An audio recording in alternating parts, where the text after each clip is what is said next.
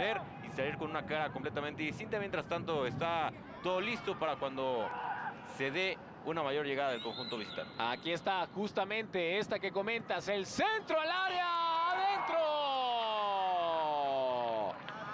Gol.